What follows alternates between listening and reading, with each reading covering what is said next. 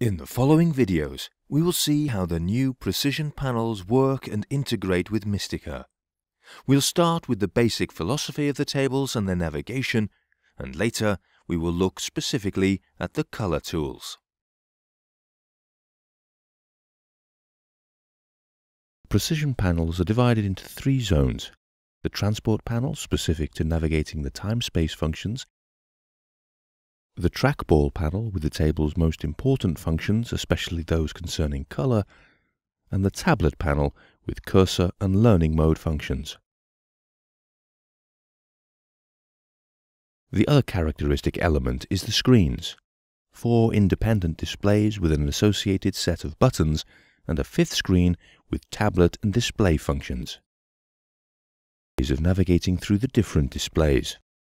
By touch, selecting in the upper menu the desired function on the tactile screens, or by rotating the joystick of each of the screens. Mistika's interface changes depending on the tool selected in the active display, whose joystick lights up more intensely. We can change the active window by touch or by pressing down the joystick associated with that display. Each display has three groups of menus associated with the buttons, Tools, ISO and Lock. Tools and ISO contain color tools, while Lock contains Mistika's dashboard menus.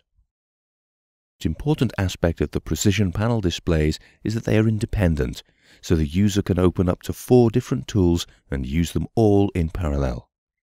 Depending on the tool selected, the display buttons change their function. If we are in primaries and change to bands, the dials of that display acquire new functions.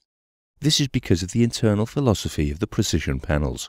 Every button has a default function, but this function may be changed if a modifier or layer is activated. Buttons like Control, Alt and Shift are modifiers and change the mapping of the entire table. For example, if we are in a color grade, the CC button creates a new vector. But if we activate the Delete modifier, we eliminate the vector by clicking on CC. Another type of button is the Layers button that only changes the function of the buttons that are affected.